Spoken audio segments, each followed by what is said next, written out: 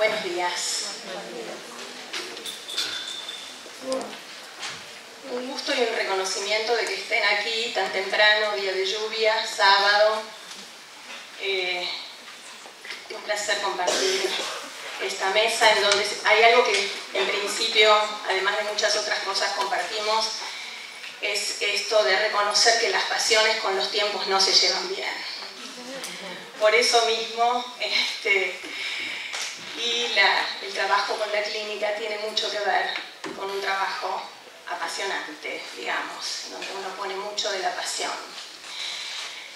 Conociendo esto, yo traje más escrito, con lo cual tranquila, porque sabe que lo tengo medio cronometrado, así que em, voy a hacer un, recorte en esta presentación que va a tener mucho que ver con las escuelas, y que por eso situé en esto de la mirada hacia la educación inclusiva, un pensar la clínica en tiempos de predicados sin sujetos. Voy a empezar a, voy, a tomarme de un recorte de, de Luciano para empezar a plantear de qué o de quién se habla y pensar que vamos a oscilar en esto de quién o qué se habla de entre sujetos con minúscula o sujetos con mayúscula. Voy a hablar de Luciano, que le podemos decir Luciano o le podemos decir un TEA de cuatro años. Las pelotitas chiquitas, las bolitas, ¿qué pasa? Le digo. Dame, Patri, por favor. Luciano empieza a armar los laberintos del laberinto de bolitas tomando el secreto, dice él, o la lógica de cómo colocarlos para que las bolitas puedan recorrerlos a todos. No se puede, no, no, no, empieza a gritar y llorar casi dramático. Tenés que ponerlo. Todo esto se lo dice a sí mismo mientras se encastra dándome la espalda. Arma un recorrido muy ajustado, más allá de que hay piezas de diferentes tamaños. Hablo de lo que nos pasa en los consultorios hay 20 laberintos mezclados con piezas chiquitas, grandes, y arma allí una especie de este trabajo en relación al equilibrio que no sé cómo lo logra, pero arma, logra armar el laberinto con distintas piezas. Y el juego pasa a ser que él le vaya poniendo las bolitas que a mí me tocarán hacer deslizar en una tapita. Primero, a puñados, que él coloca en ella. Y luego, contándolas a su propia iniciativa. Y finalmente, dando lugar a mi pedido, ¿me pones tres? ¿Me pones cuatro? ¿Me pones cinco? Y él responde entregándome esa cantidad con adecuado conteo de su parte. Y arriba se va diciendo, organizando la acción de volver a emprenderla con parte de la torre que por supuesto se acaba de caer en esa inestabilidad de piezas de diferentes tamaños. Hay que armarlo otra vez, se dice, acompañando un hacer que no me convoca. Y dame más que cinco, le pido. Seis, sanciona. Y me da siete. Pero que apenas yo recuento, me saca una porque eran seis. Ahora dame más poquitas que cinco, le pido. Te doy siete, me dice. Y si me das menos que cinco, te doy tres. Y las cuenta y me las da, pero se me escapa una. Y como tengo dos, me dice, toma una y resuelve. Y me entrega las tres. Y ahora te voy a dar seis, decide. Yo voy contando, cuento cuatro, y entonces adiciona dos que tiene en su mano, y cinco y seis sobre contea. Desde la adjudicación de las clasificaciones diagnósticas que imponen los manuales actualmente en boga, el DSM-4, el DSM-5, el CIE, basándose en el ordenamiento de diferentes expresiones que se presumen como patológicas en la infancia, se deciden y gestionan certificaciones de discapacidad, se sugieren tratamientos y eventuales medicaciones, y cada vez más se encomiendan o se indican formatos y figuras a ser contempladas al interior del dispositivo escolar. Se usen o no para justificar lo que se necesite o se quiera justificar, resulta necesario tener en claro que lo que esta categorización diagnóstica introduce se configura desde una nosografía que recorta y define el discurso médico-psiquiátrico y que en todo caso podría atravesar, pero nunca reemplazar ni subordinar, el saber del docente acerca de su propio alumno. ¿Cuáles son los efectos de una irrupción de un discurso extranjero al territorio áulico, que las más de las veces se toma sin cuestionar ni revisar, en una suerte de acatamiento que desestima la propia lectura específica? El riesgo es que la escuela se queda sin su mirada y sin su decir acerca de sus niños, hipnotizada por la fuerza de unos predicados que otros saberes médicos y psiquiátricos engarzan a un nombre. Nombre sin sujeto, nombre sigla, que toma el lugar del sujeto, TEA en este caso, pretendiendo que desde él se explica todo, aún los modos y condiciones con las que un niño podrá o no aprender en la escuela, y el cómo ésta debe intervenir en consecuencia. Son estos los tiempos en que, siguiendo a Corinfeld, ahí está, este es un dibujo, quería mostrarles, porque vamos a hablar de tres niños y quería ubicarles. Este es un dibujo de Luciano, de esta época. Le fascinan los relojes. Son estos los tiempos en los que, siguiendo a Corinfeld, la infancia asiste a una patologización, a un problema de excesos o de sobrediagnósticos o a una pasión descontrolada por el furor curandis, y en los cuales convertirlo en una pregunta para nuestras sociedades y hacernos cargo de ella aparece como crucial. Convertirlo en una pregunta, ya que en el fragor de este furor curandis los niños quedan encuadrados, descritos, explicados y predestinados desde lo que predica algún manual. Y el núcleo del sujeto pasa a ser una sucesión de letras mayúsculas que sustituyen al nombre propio. La paradoja de un sujeto sin sujeto, en tanto destituido, y con él su condición de infantil, tornando todo lo que hace en acto que pone, pone en sospecha esa condición. Va a decir Alfredo Jerusalinsky, se fue apagando el esfuerzo por ver y escuchar a un sujeto con todas las dificultades que él tuviese, en lo que tuviera para decir, y se fue sustituyendo por el dato ordenado según una nosografía que apaga el sujeto. Los docentes pueden buscar y encontrar en ese diagnóstico abrochado al niño una explicación que se torna absoluta aportando los argumentos para responder desde su condición de autista, por ejemplo, los interrogantes que deberían poder problematizar su propia práctica. Allí la escuela desaparece en lo que tiene para decir desde su específica lectura acerca de los obstáculos en el aprender de un niño que solo puede construirse desde su propio saber y al interior de su territorio. Si un niño no se recorta en el decir de la escuela acerca de él, ¿cómo le será posible construirse y reconocerse como un alumno? El presente y el futuro se le juegan allí en función de quién o qué se reconozca como núcleo del sujeto de esa oración. El dilema por optar, el dilema de optar por la cosificación de una sigla o por el nombre que lo singulariza como un sujeto infantil. En esta búsqueda, una clínica psicopedagógica que mira la educación como inclusiva debería comenzar por pensarse en su necesaria intromisión en la extranjeridad de la escuela, reconociendo en la suya y en la otra prácticas específicas y una ineludible responsabilidad ética en lo que les atañe como modos de producción de subjetividades. Dirigiendo, abriendo una pregunta más allá de las fronteras de su propia disciplina y aportando su propio y parcial saber en la habilitación de lo que pensamos como un trabajo interdisciplinario, que solo puede sostenerse en el reconocimiento y la validación de la lectura y el hacer docente en sus diferencias con la lectura y el hacer psicopedagógico.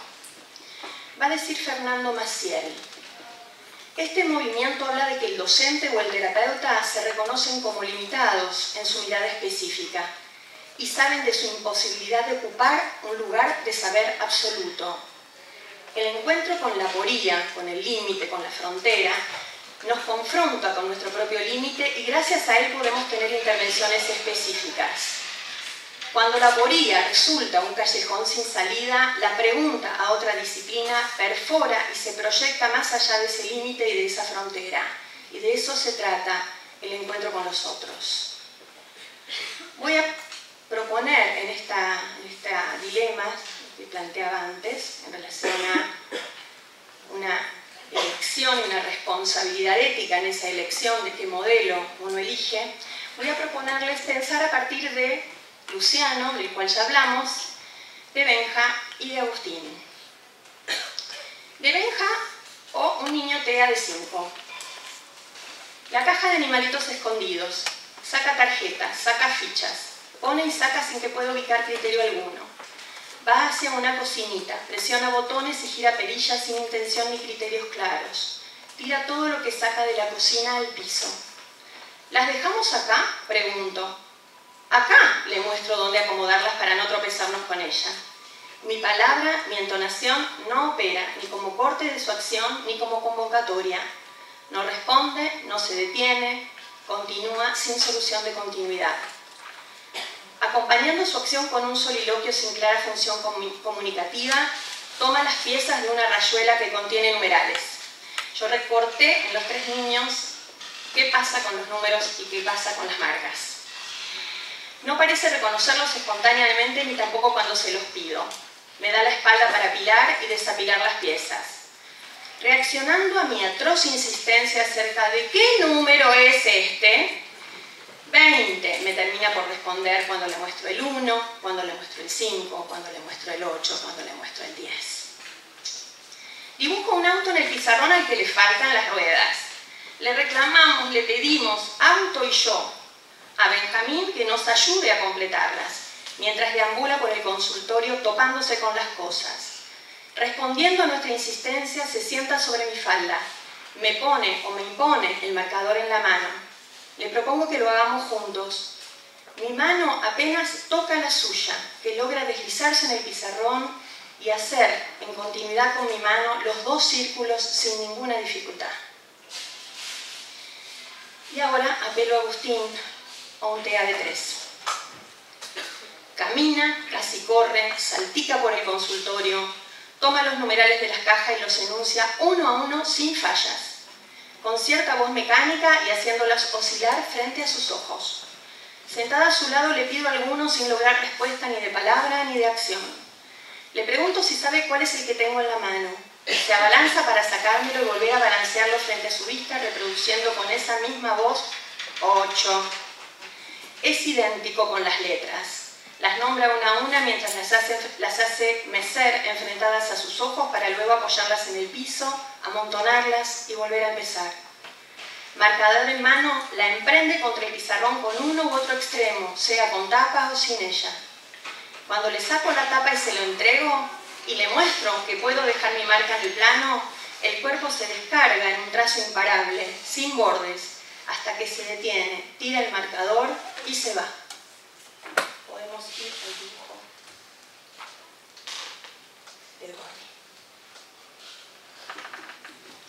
Ya viene.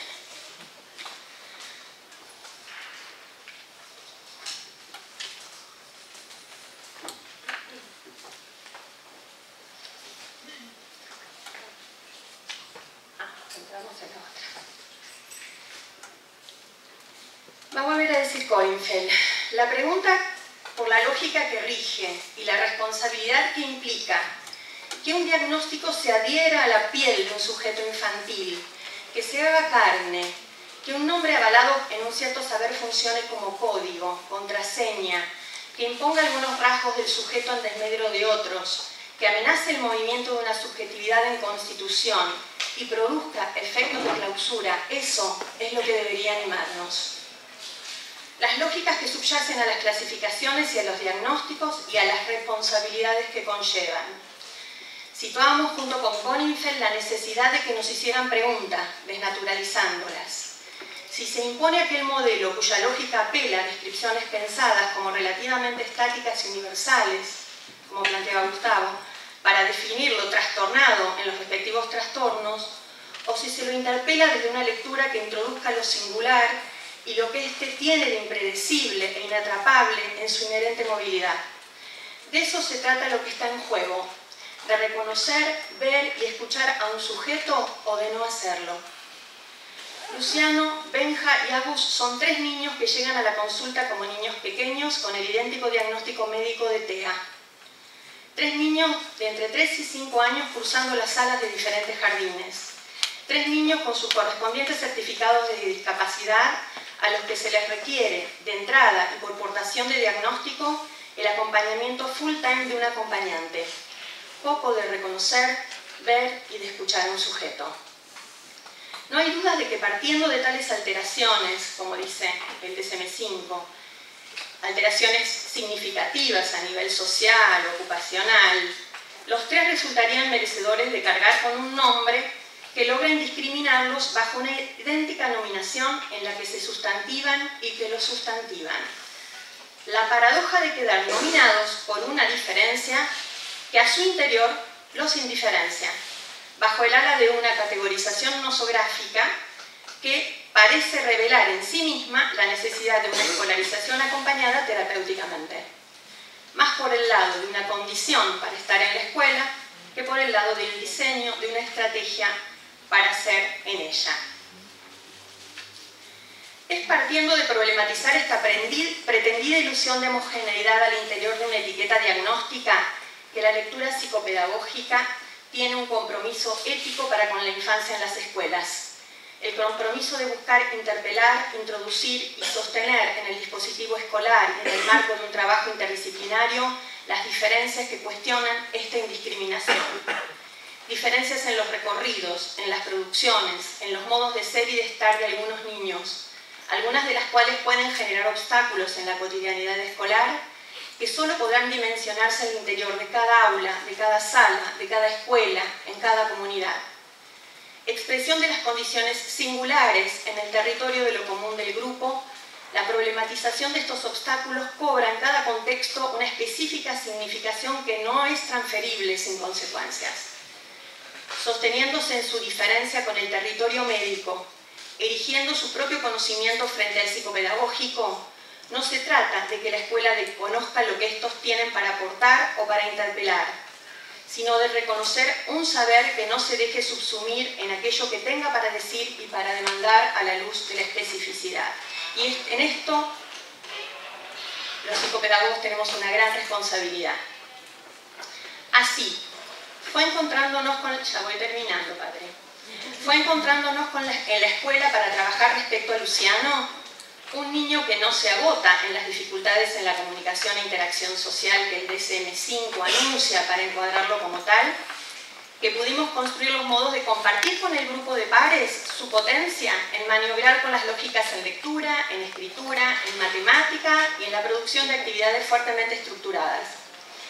Y ello contando con una escuela cuyo perfil tradicional valora particularmente estos conocimientos y sostiene gran parte de su dinámica de producción en formatos consignados, como los de los cuadernillos. A Luciano le viene bárbaro para poder producir. Y desde allí, no solo para poder producir, para poder situarse en su potencia frente a los otros. Desde allí fue posible cierto reconocimiento en un lugar que no fuera el del puro estallido, y la figura del acompañamiento fue relativizándose desde la inicial y absoluta ortopedia. Fue acompañando a los docentes de la sala del pequeño jardín de Agustín que pudimos comenzar a romper con el designio de patrones repetitivos y restringidos de conducta a los que lo reducía el DSM-5. Sus movimientos de la docente, para validar y hacer jugar la reproducción del código en la que el niño quedaba tomado, deslizándola hacia el grupo, posibilitaron comenzar a construir un cierto registro posible de él, de los otros y de las diferencias que estos conllevan, y fueron rompiendo su adherencia a su profesional no docente en algo. Y fue pensando y repensando los diferentes modos de articular la demanda escolar y las respuestas de Benjamín a ellos, los que habilitó el ir tomando posiciones entre la insistencia y la pregunta, entre la pauta y el permiso, entre sus movimientos y los de los otros, que permitieran apertura a nuevos objetos, a construcción de nuevas significaciones y a tolerancia de ciertas diferencias. Resituar la función de acompañamiento de estos movimientos para que no necesariamente terminaran los dos solos en el arenero del patio fue uno de los aspectos puestos a pensar y repensar. En síntesis, fue validando las lecturas docentes, reconociéndolas en sus necesarias diferencias para ponerlas a trabajar en interdisciplina y dando lugar a preguntas que interrogaran a los datos y formularan problemas, fue desde allí que la clínica psicopedagógica intentó aportar lecturas que habilitaran la entrada de un niño y rompieran la sujeción a una sigla. Con ese convencimiento apostamos a que junto con el niño hayamos habilitado la oportunidad de que se construya en él, junto a sus pares, un alumno. Ya que, dice Graciela Frigerio, lo que pasa en la escuela afecta a alguien más que al escolar de hoy. Las marcas por no haber asistido por haber sido rechazado, haberse sentido expulsado, incomprendido, también se portarán más allá del tiempo en que la palabra infancia se aplica al sujeto. Queda planteado el desafío, aquel que nos convoca a reconocer al sujeto en el sujeto de la oración, para dar cuenta de predicados que digan acerca de él. Está en juego algo mucho más que nuestro conocimiento del análisis sintáctico.